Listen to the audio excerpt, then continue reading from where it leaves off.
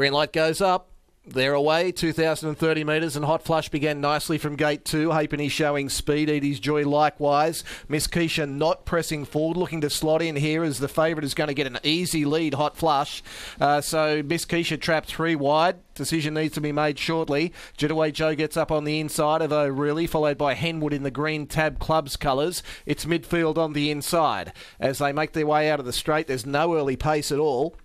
And into the back they run. Grin, uh, Expect a Grin was next, followed by Hull Hill or Halifax and Tinted Lasses at the tail. So into the back straight, lead time 33.4. That is slow. Hot Flush getting a very easy lead in front. Miss Keisha was able to get up and sit outside the leader now with that uh, very slack early pace. Halfpenny third leader's back and Edie's Joy 1 1. They're still not going that quick at all. Then Jetaway Joe three back the inside. Next was O'Reilly. It's uh, pulling there. Jetaway Joe putting in a couple of rough strides on the inner, trying to get get it around it as Henwood, and it does so. Bailey's Girl was next. They were followed by Expect a Grin. Hull Heller Halifax patiently driven. Slow speed up front isn't suiting, however. And last is Tinted Lass. First quarter, 32.1. They're into the straight at the 1100 metres, and it's Hot Flush leading out. Has had an easy time of it in front over Miss Keisha facing the breeze, but didn't have to do much work to get there.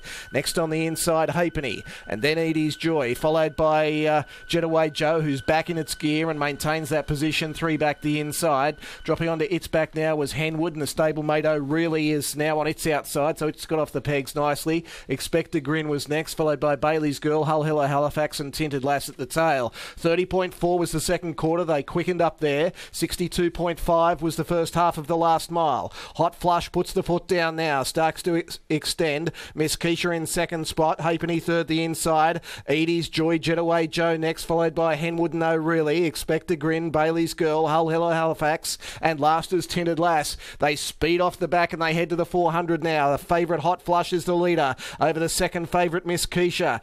Uh, 28.6 was the third quarter.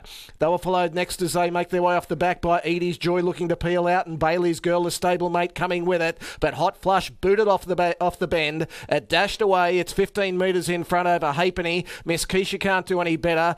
Edie's Joy and Bailey's Girl are coming down the outside, but another easy win. Hot Flush.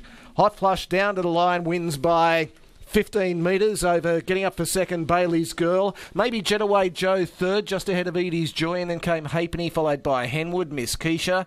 Uh, further back was O'Reilly, Hull Hello Halifax, Tinted Lass, and Expect a Grin four for Easy. the winner. Six dollars ninety for second, two even for third. Quinella thirty one forty, Exacta one hundred and two seventy. Trifecta four hundred and ninety nine ten. First four five thousand two hundred and sixty seven forty. Duets eleven seventy two eighty and. 30